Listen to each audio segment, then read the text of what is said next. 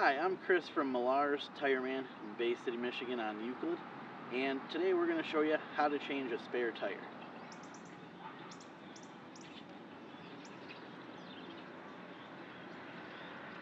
Alright, when changing a spare tire, these are the tools that you'll need. Uh, the lug wrench, and the jack, and uh, if your car is equipped with a spare tire, then those tools will come with it. And if you have trouble locating them, you can always use uh, the owner's manual. Um, now I also have some safety triangles, so if you're on the highway, those are excellent uh, to use to keep you safe uh, with oncoming traffic. And then in most vehicles, um, you can either find the spare tire uh, in the trunk for most cars, and a lot of SUVs and pickups, it's actually underneath the vehicle and you have to lower it down. The first step in changing the spare tire, once you've got the spare out and you have your uh, lug wrench and jack ready to go, is to loosen the lug nuts while it's still on the ground. And you just need a small little turn on them.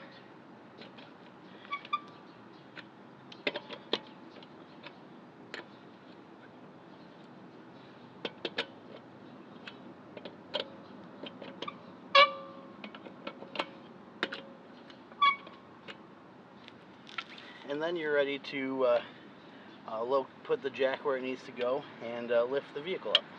Now, when locating your jack, most vehicles uh, will have a little location on where to put it.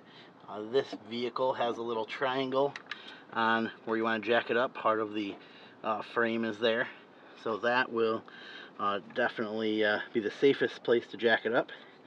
Now, if your car has a little bit of excessive rust or doesn't feel solid, uh, the best bet is to look up underneath and find what appears to be something uh, solid to locate the jack on because you definitely want it to be as safe as possible while your vehicle's in the air. And you can turn it up by hand until it gets in the proper location and then you will use your jack handle to get it the rest of the way up off the ground. Alright, now that we have the vehicle off the ground, uh, ideally about a half inch is perfectly uh, fine. You don't want to get it too high off the ground to make it unstable. And then, uh, since we loosened the lug nuts already, uh, they'll come off with uh, without too much uh, stress.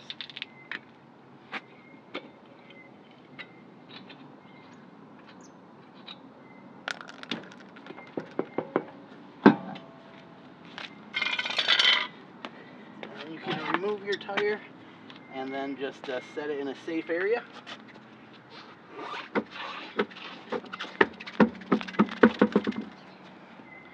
Then you're ready to put the spare on, uh, which you just want to try and line up.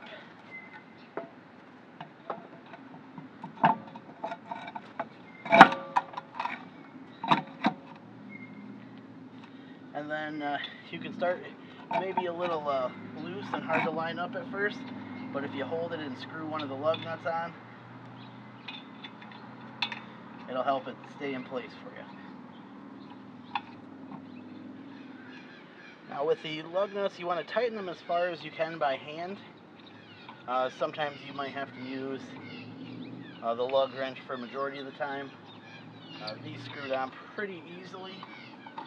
Now it's important while it's still in the air to go around with the lug wrench and get them snug.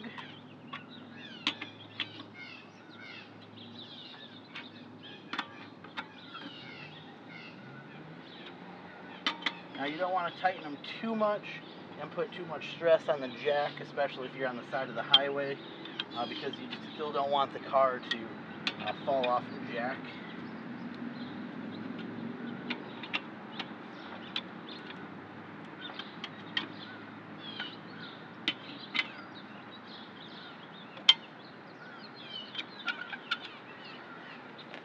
And now that you have those uh, snug, uh, you can uh, start to lower the jack down.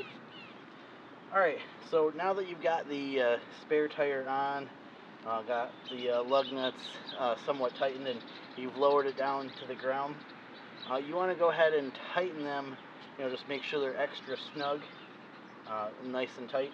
So, and usually you'll start like at the bottom, and you go, go here, and then go up to the top one. In a tightening sequence and then kind of just go uh, back and forth across on the lug nuts to make sure they're uh, uh, nice and snug on there. And it is important, you know, if you, uh, you know, this is a 2012 that we're working on. Um, the spare tire air probably hasn't been checked for a year or two. Um, it still has air in it, but you should probably try and do at least once a year to have your uh, air pressure checked in your spare tire.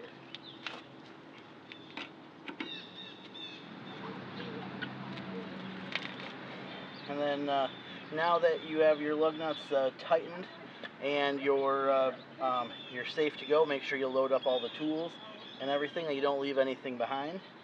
And then you're uh, ready to take it to uh, tire store to have your tire inspected. Now with your spare tire, it is not a long-term solution. As you can see, there's a significant size difference in the tires. Now the manufacturer uh, gave you that size because it'll work with this vehicle. Now it's ideal to uh, not go over 50 miles an hour on your spare and they recommend not over 50 miles in a single trip.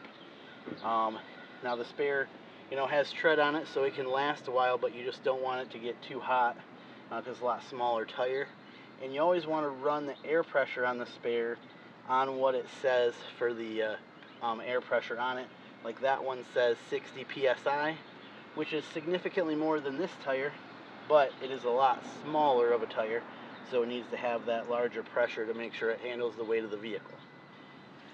Thank you for watching our video on how to change a spare tire. Um, now I work for Millar's Tire Man in Bay City, and uh, this was uh, we were able to do this thanks to the Bay County Library System, and uh, they have a lot of resources, whether it comes to whether it goes to books in the library or like online databases, you can uh, reach out to um, any of the branches and they can help you with any of your automotive needs.